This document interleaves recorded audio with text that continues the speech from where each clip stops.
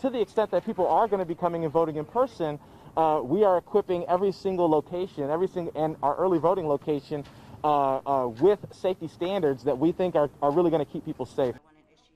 Mail obviously is what we are encouraging. Vote at home, be safe. We will be mailing out over 114,000 ballots. That's phenomenal. There is no record that is even close to that